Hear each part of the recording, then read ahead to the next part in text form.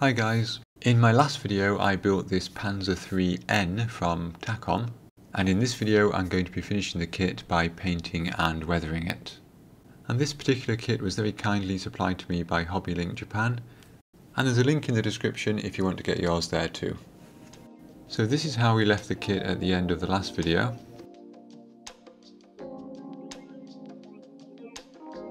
And the first thing I did was give the tank a coat of Tamiya Grey Primer and then a base layer of Tamiya XF60 dark yellow and I lightened that with a mix of XF57 buff. And that mix was approximately 50-50. And that mix will provide us with the yellow base coat which we need regardless of the uh, scheme we choose. So the instructions include four schemes. The first one is this one here from the 2nd Panzer Division in Kursk, July 1943 these kind of very distinctive uh, green spots. The second is also from July 1943 in Kursk and it has these uh, quite distinctive uh, side skirt stripes, diagonal stripes there of the dark green and the dark brown. Then we have this scheme here from June 1945 in Oslo. And finally from Italy in May 1945 this hard edged camo scheme. Of those schemes, my favourite are the two Kursk schemes, and of those I like the green spots, the first one the most. So that's what I decided to go with.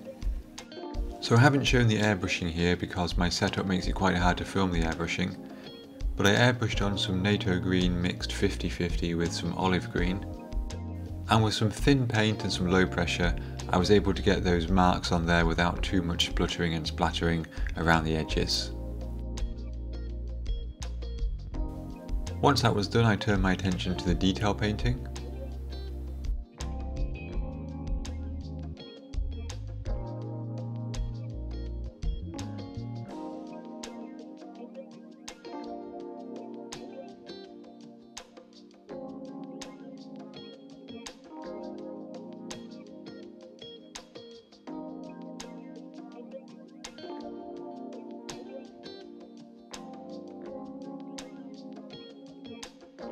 This is a small trick I picked up from Panzermeister 36's channel, which is to use a thin sheet of paper underneath items you're painting as a kind of mask to prevent you from getting paint on the main tank. Normally I find the protective sheet that comes with the decals is perfect for this.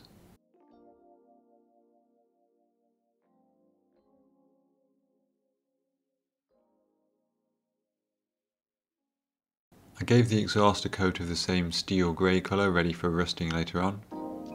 So after applying a semi-gloss coat to the tank, I added the decals using some Tamiya mark set to soften them up a little bit. And one of the things I liked about the uh, colour scheme I went for is it has some slightly more interesting decals than the others. It has these shields with eagles on them and a number on the back, which the other ones don't. To give the exhaust a worn effect, I sponged on some of the yellow base colour. I did this to make it look like the exhaust had been painted yellow and then the paint had worn away with the heat.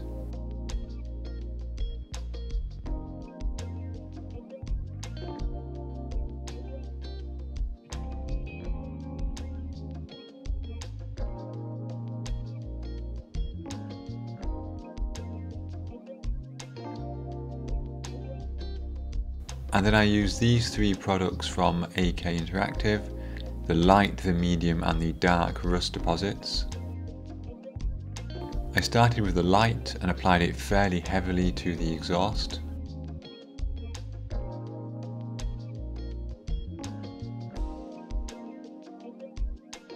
And then I applied the medium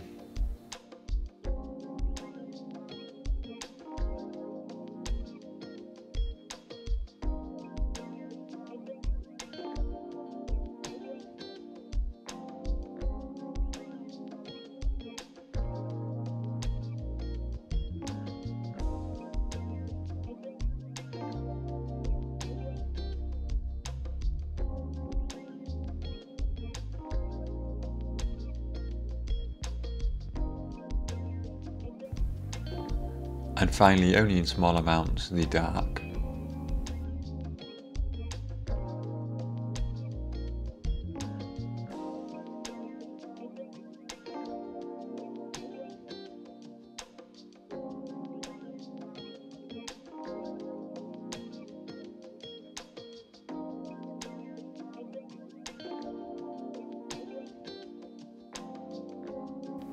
I wanted to do some chipping on this tank but not too much. I'm not a huge fan of chipping to be honest. So I took a sponge and some more of the base colour and I applied those chips around the edges of the raised points, particularly these hatches here on the engine deck.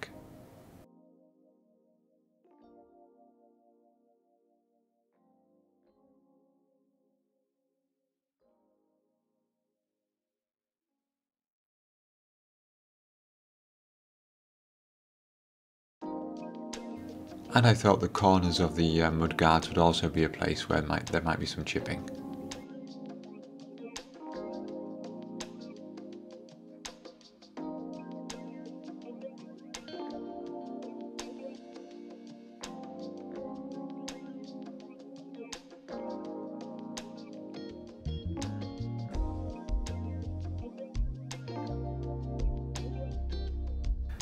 Side skirts, while they were still on the card I used to paint them on, I hand brushed some streaks and some scratches using the base colour.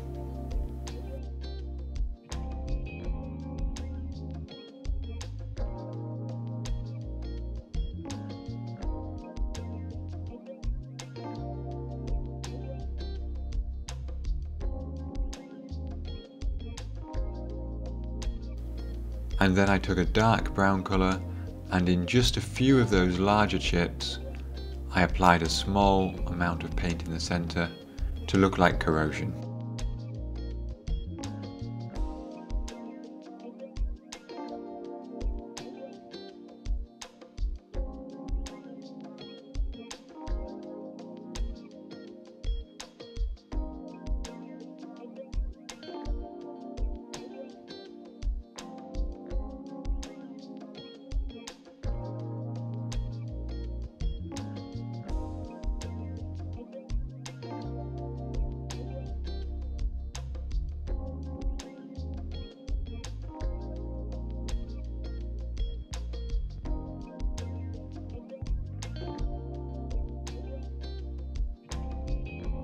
The next step was to apply a pin wash using some oil paints.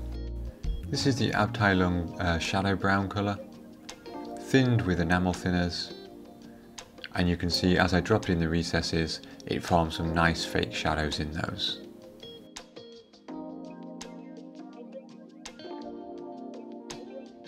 This looks particularly good I think on these engine hatches and these hinges.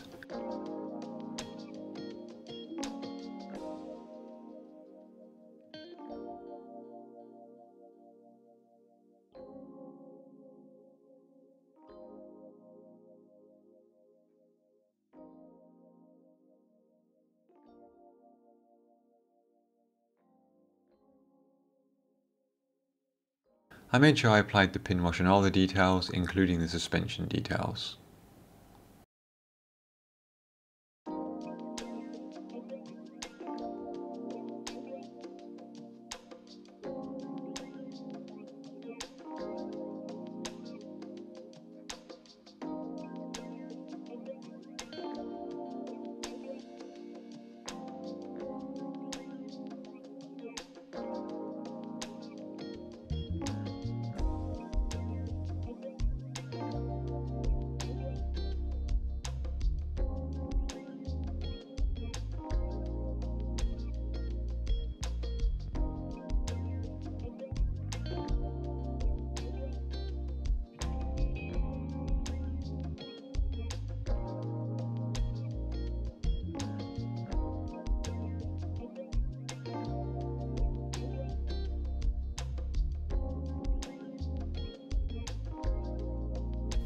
On the drive sprockets the teeth would be in contact with the tracks and therefore polished, so I painted those carefully with some X11 chrome.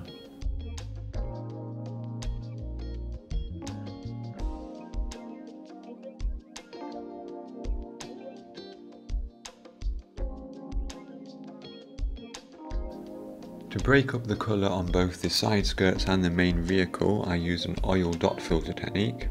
As the name suggests, this involves putting dots of oil paint of various colours onto the surface. So here you can see I used a white, a couple of shades of yellow and some brown colours.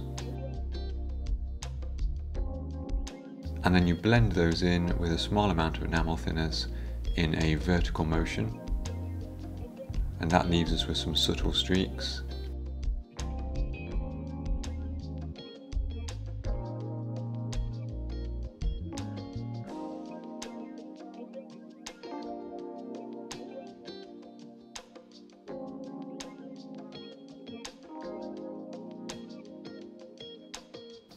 horizontal surfaces on the tank I used a circular blending motion because obviously there's no uh, vertical there.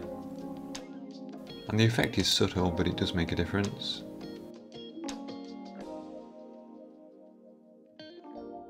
And then I took some of the darker oil paints and I tried to blend them into some of the recesses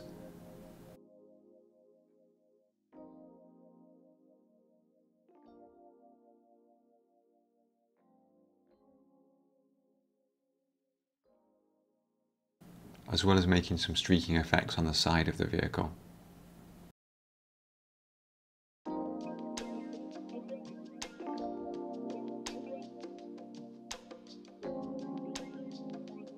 I took some darker oil paints and tried to blend them in around certain large areas, basically to make them look like accumulated dust and dirt. And this blending is done with either a dry brush or one that's only extremely lightly dampened in thinners.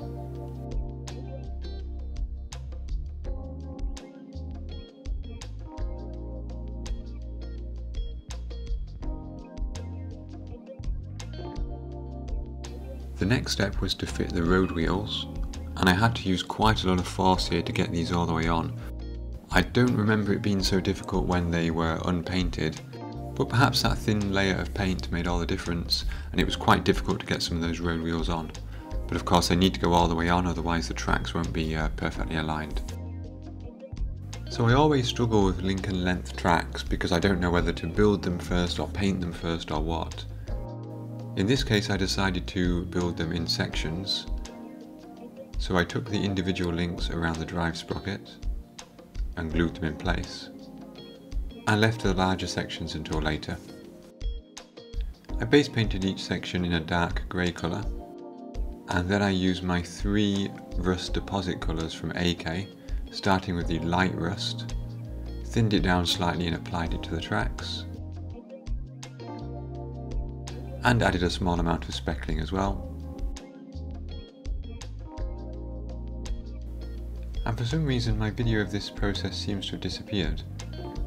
But the next step was to speckle on some medium rust colour and once that was dry to speckle on smaller amounts of the dark rust colour.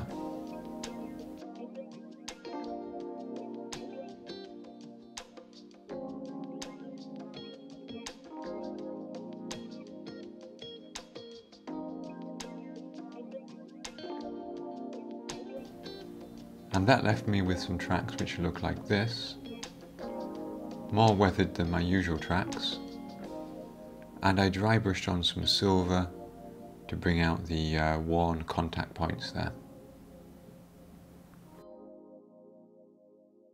The next step was to fit the tracks and the wheels. I decided to do this before any weathering on the side of the lower hull, mainly because most of this will be covered by the side skirts anyway. These tracks were quite fiddly to fit, and on one of the sides I had to take out an extra track link to make them fit correctly. But you can see they look pretty decent so far. However, there is a clear difference between the very rusted and worn tracks and the very clean side of the hull. So that's what I tried to address using some burnt umber pigment mixed with a small amount of thinners to keep it quite a thick mixture and I applied that on the lower half of the hull. This looks very dark but it will dry to a much lighter colour, in fact back to the original pigment colour. I put it on very messily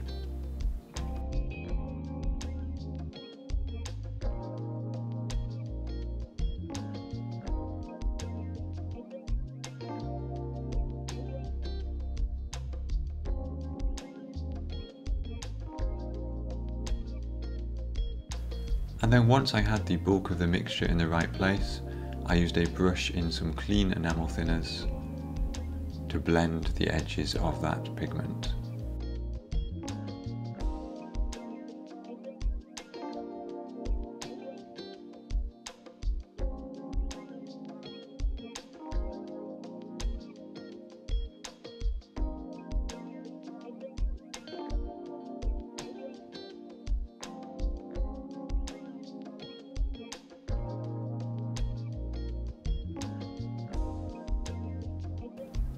Of course this still looks really quite messy, but a great way to reduce that uh, sharp edging even after blending is to use the speckling technique. And here I've thinned the pigment mixture down and I'm now flicking it from the front of the vehicle, trying to concentrate over that edge to blend the edge in.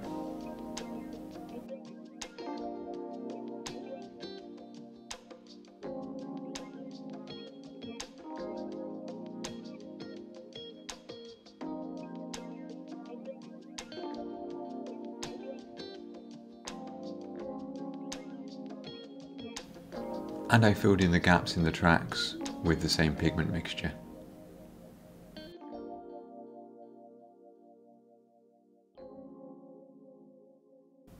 And you can see here once that pigment has dried it's returned to a much lighter colour.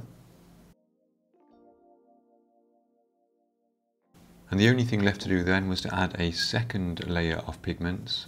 In this case I didn't apply it directly to the model with a brush, but instead I used that speckling technique again and I'm not trying to cover all of the older pigments, I'm trying to get a, a layered system going on here. And hopefully that lighter colour gives the impression of drying mud over the top. And there were a couple of other minor details I added. So for example I stuck a few of these leaves in various recesses, mainly on the top of the vehicle. And I highlighted some of the raised points, especially the bolts and the rivets, with a lighter shade of the base colour.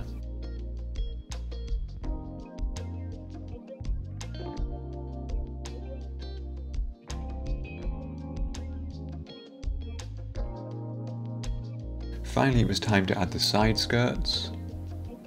These were a little bit difficult to fit and you had to be careful not to damage the rails which hold them in place.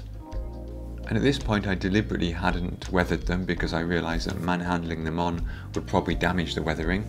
So once they were in place, then I did the same speckling technique with the two pigments up the side of the side skirts there.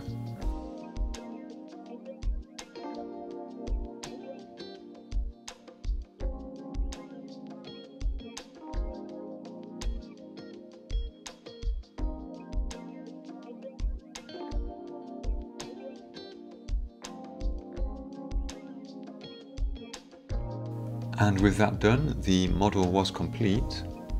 Before I show you the images of the final model, let me take a moment to say thank you again to HobbyLink Japan for supplying this kit. If you want to get your model from there, there is a link in the description below. And of course, many thanks to my Patreon supporters, whose kind support really helps this channel grow and continue. Honestly guys, I couldn't do it without you, so thank you so much for all your help and support, it's much appreciated. Okay, and here are those images of the final model.